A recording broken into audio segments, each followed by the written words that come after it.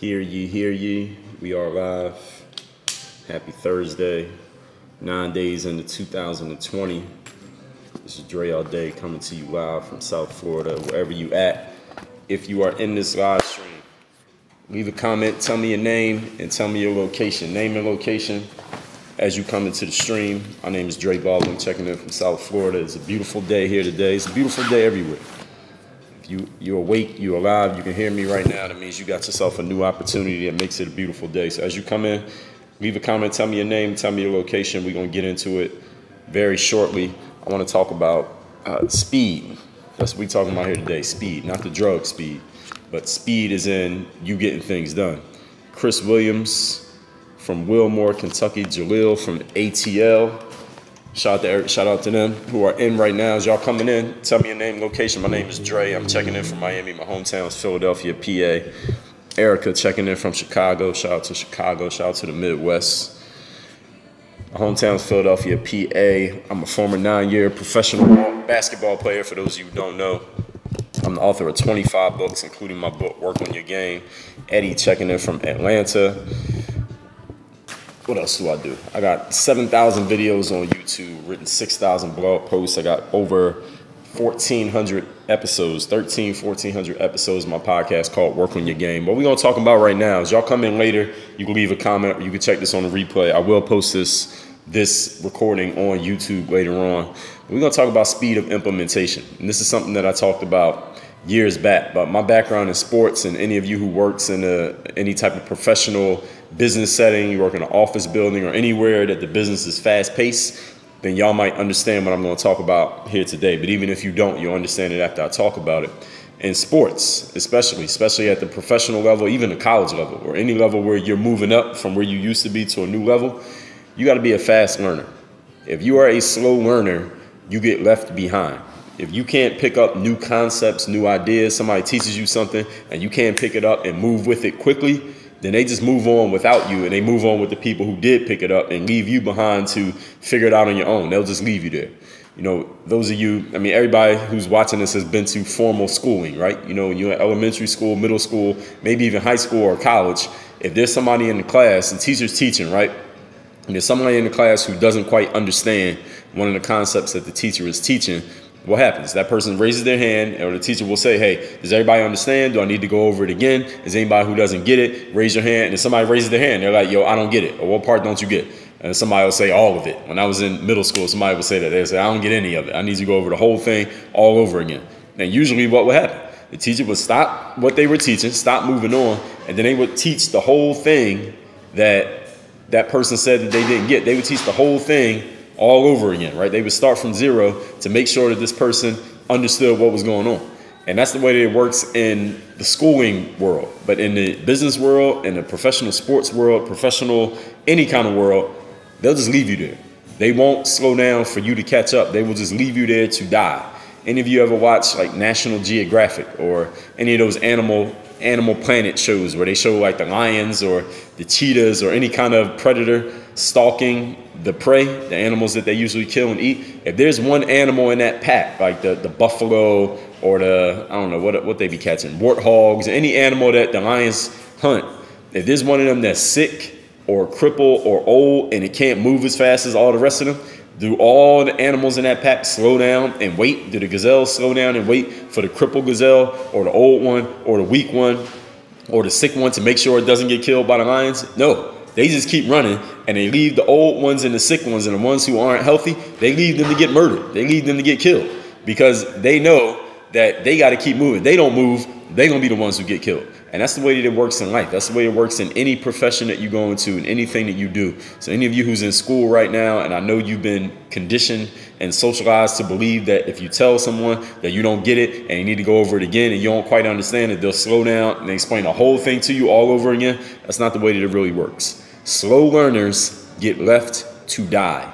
You get left to either die on your own or you're going to get killed by the hyenas and the wolves and the lions and the cheetahs and the, the bears, whatever else out there, the vultures out there. They just wait for somebody to be a slow learner, let the whole rest of the pack leave you behind, and they're going to finish you off. You must always be a quick, you got to be quick at study, quick at learning, understanding concepts, quick at adaptation That means when something changes, you got to be able to make changes quick.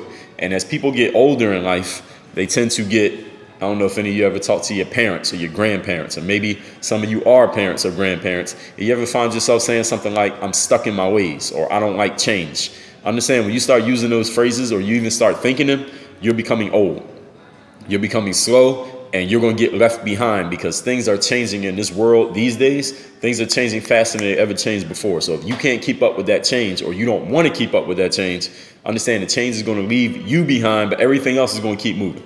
In school, everybody had to wait until that one kid who didn't get it caught up. In life, they don't wait.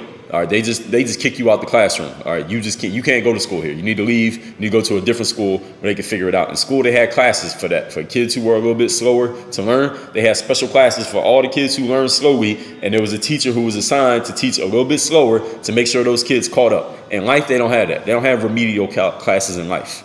All right, there's no remedial basketball team. All right, there's not a remedial bank. There's a bank across the street from where I'm sitting right now. If you can't understand how to work those computers at that bank after about two weeks and after the training, all right, they just fire your ass and they hire somebody else who can understand it. They don't they don't have remedial training for people who don't get it. So you got to be able to keep up an implementation, meaning when someone gives you some new information, some new concept, some new way of doing things, you got to not only understand it, but you got to put it into action quick. Not six months, let me figure it out. And I, I'm gonna slowly, gradually start using it. It's right now, you gotta start using it immediately, not next week, not six months from now, not when I finally figure it out, not when I get around to it. You gotta be able to implement it immediately. If you can't implement it immediately, again, everybody else who did implement, they're gonna move on without you. And if you're not keeping up, eventually you're gonna get so far behind that you know what usually is gonna happen? You might quit before they even get to fire you. if you can't get what I talked about in last night's live stream, if you didn't see my live stream from last night, it should still be on here. I think it stays up 24 hours. So I'm gonna have two lives on here at least for a couple hours. I talked about being on commission. In life, everybody's on commission. Even if you think you're on salary, you're still on commission. Because if you stop doing your work, that salary is gonna go away eventually. If you're a person who cannot quickly implement and move on and use new information and understand new information, everybody else who's on commission they understand they're on commission. They're going to be producing results that you're not producing. Therefore, you're not going to make any money. You're not going to be producing any results. And life is a results and performance based business. You can't perform without the new information. You can't produce results because you can't implement fast enough. Everybody else is making the money. Everybody else is producing results. You're not. You're going to stand out. You're not. You're not going to be making anything. So you'll probably quit or you're going to get fired. That's what's going to happen in life. You either quit or get fired if you're not keeping up. So the whole point that I'm giving you here, and I'm gonna take questions in a minute. So anybody got questions about that, go ahead and you can go ahead and post them as long as they're related to the subject. We're talking again about being a fast learner. You can't be a slow learner in life. You can't take too long to implement. You can't be slow to adapt to change. You can't be slow to adopt new information. You can't be a person who doesn't understand. When someone gives you something, I knew a photographer one time, he told me this story. He was like, somebody was teaching me how to do like people's makeup before a photo shoot. Like a, a, mentor photographer was teaching this young photographer how to do it. He was like, dude said to me, I'm gonna show you how to do this one time. And he showed him how to do it one time. It took him like five minutes. And he said, I'm not going to show you again. So you better understand it right now because I'm not going to keep going over this with you. And he was explaining to him the same thing I explained it to you. He didn't say it in so many words as I am. I'm articulating it out. But he was saying the same thing. You either learn this quickly or you ain't going to learn it at all. And if you don't learn it at all, you won't be able to, you won't be a good photographer. You won't be a good makeup artist and you're going to be out of the game because nobody's going to want to hire you. You won't make any money. We do our work on commission you're not producing results. So understand that if you think anything is guaranteed here just because you got a spot, because you know somebody, or what you did three weeks ago or two years ago, that's not the way that it works. You're always on commission and you got to be a fast learner, a fast implementer, and a fast adopter of everything that you learn and putting it into play immediately because everybody else that you're competing with, that's what they're doing. And if you can't keep up or go faster than them, then they're just going to beat you and then the game will be pretty much over. Everybody understands that, right? So I'm gonna take, I'm gonna see if we got any questions. I don't know if we got any questions here. My name is Dre Baldwin. Those of you don't know, my book, Work on Your Game. Using the pro athlete mindset to dominate your game in business, sports, and life. You can get this at workonyourgamebook.com. Workonyourgamebook.com is also on all the other book websites. Might be in your local bookstore as well, if you even have a local bookstore. Let's see who we got. Papa Papa Dalivia says, We can't be afraid to slow down and teach ourselves how to learn quick. That's long term. It's a marathon. Well, it depends on the situation, Papa. There are times when you don't have time to slow down. The game is moving with or without you. So yes, there's a there's a, a counterpoint and a maybe this to everything that could possibly be said. But you understand the spirit of what I'm saying, do you not? Is that yes, you can take time to slow down and teach yourself to learn. But if the game is moving without you, you ain't got time for that. For example, when I first my first job playing overseas, first practice, coach gave me the ball. He said, "All right, run the pick and roll." He didn't ask me if anybody ever taught me how to run the pick and roll. He didn't tell me how to do it. He didn't tell me where to start the play. He didn't tell me what play we were running. He just said, "Run the pick and roll." And if I didn't understand that, they would have been like, "All right, this guy can't run the pick and roll. Get him out of here, team manager, and go find somebody who can." I didn't have time to slow down. I didn't have time to figure it out. I didn't have time to go on YouTube and do film study. It wasn't even no YouTube at that time. I didn't have time for all that. I either had to know it or I didn't. I was either in or I was out. That's the concept that I'm explaining here. So while you can take time to learn on your own, they could have fired me. I could have went home and learned on my own, but I would have been out of a job. So that's what you need to understand. Life does not slow down for you. You can slow down for yourself, but life is not slowing down while you're figuring things out. That's the point that I want everybody to understand here.